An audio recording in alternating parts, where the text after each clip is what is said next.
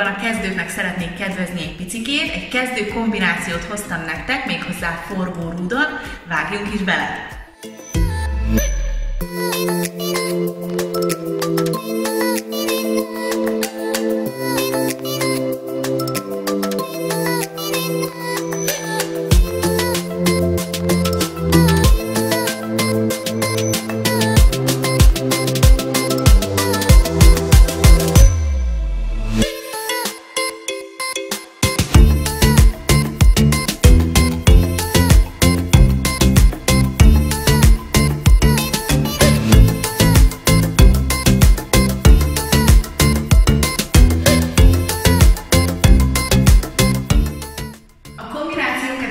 Egy hintaforgással fogjuk indítani, ami a következőképpen néz ki. A belülévő kézzel szönt magasan, belülévő lábbal teszünk egy kilépést, és onnan szembe fordulunk a rúddal, a külső kezet föltámasztjuk alkartámasznál. Ez az alkartámasztás majd beletol a rúdba. Innen, ahogy bőjünk bele a forgásba, a két lábbal tartunk kis terpet. Ő lesz egy hintánk. A hintákból úgy fogunk tovább menni, hogy ahogy szembe vagyunk a rúddal, a fölülévő kézzel azonos, tehát belső lábunkat be fogjuk akasztani a rúdra lábszárnál, illetve combnál, nagyjából comb közé, és lábszár közé lesz az, ami érintkezik a rúddal. Ezt a két pontot ellenkező irányba rászorítjuk a rúdra. Hogyha a lábakasztásunk stabilan tart, illetve a fölülévő kezünk stabilan tart, innen meg fogjuk próbálni az alullévő kezünket elengedni majd.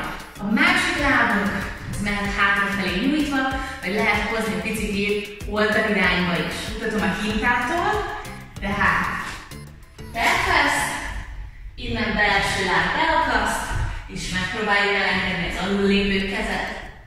Ebből most visszafogunk, és egyelőre visszajövünk belőle a talajra. A lábszárakasztás, illetve a kézelengedés után úgy fogunk megpróbálni tovább menni, hogy a hátul lévő szabad lábunkat a szabad kezünkkel fölkaroljuk tért hajlatban, gyakorlatilag a tért hajlatunk fekszik rajta az alkarunkon. Ahogy fölkaroltuk a lábat ezzel a kézzel, elkapjuk veledbe, hogyha megfigyelitek, itt az alkar az nagyjából vízszintben van. Itt a fölül lévő kéz az határozottan húz, az alul lévő kézzel pedig beletolunk a rúdba. És miután felvettük ezt a lábat, és megérkeztünk ide, a másik lábunkat föl fogjuk húzni alá. Mutatom az egészet egyben. Hintával, megtartjuk a terheszt egy pillanatra, akaszt a belül lévő láb, elenged az alul lévő kéz. Innen fölkaroljuk a szabad lábunkat, és kivesz az akasztás, aláhúzzuk a másik lábat keresztbe, és ebből most egyelőre visszajövünk a talajra. Ennél a keresztlábas póznál gyakoribb szokott lenni, hogyha túl magasra jön az alul lévő kéz. Onnan nehezebb lesz egy picit tovább menni majd a összekötésnél, szóval arra figyeljetek, hogy az alkar az legyen vízszínben, és határozottan toljuk el magunkat a rúttól. És akkor mehetünk is tovább, mutatom innentől a keresztlábas forgástól, hogy hogyan jönünk vissza a rúdra. Tehát volt egy külső lábunk külső kezünkön, a belül lévő lábat pedig behúztuk alá. Innen az alul lévő lábamat kinyújtom, és beakasztom a tért hajlatomat az alul lévő kéz alatt.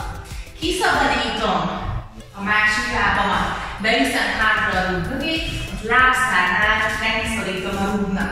Hogyha egy stabilak vagytok, külső kezet itt is el lehet engedni. Ahhoz, hogy ez az átmenet könnyedén meglegyen, az kell, hogy nagyon-nagyon szuper legyen a térthajlatakasztásunk. A térthajlatakasztásnál arra kell figyelni, hogy ahogy a belül lévő lábat, az alul lévő lábat kinyújtottuk előre, innen ide akarjuk akasztani, mert ha megfigyelitek, itt nem igazán pontos a térdakasztásunk, ez nem fog túl sokat tartani. Arra gondoljatok, hogy innen, amit kinyújtottátok előre, a másik kézzel beletolunk a rúdba, hogy legyen egy picit távolság köztünk és a között, és ezt a belülévő lábat egy picit megpróbáljuk ide beforgatni, térdünket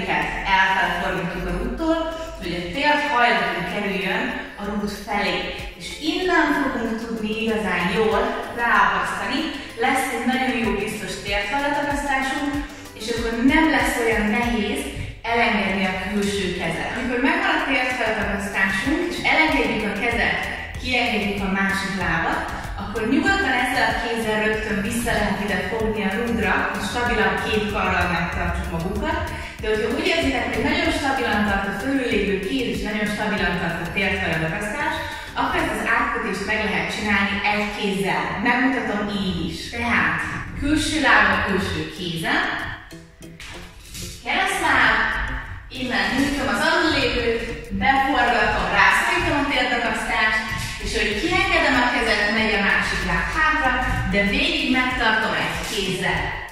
És innen most egyenlőre visszajövünk a talajra. Ide, hogyha megérkeztünk a térfeladagasztásunkba, úgy fogunk tovább menni, hogy a külső kéz, hogyha elengedtük, akkor visszajön a rudra.